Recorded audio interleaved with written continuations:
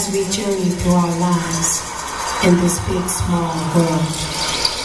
We shall walk side by side through water, on air, over earth, and through fire, through fire. We will speak to each other in many languages, invoke Orishas, invoke Orishas, invoke Orishas.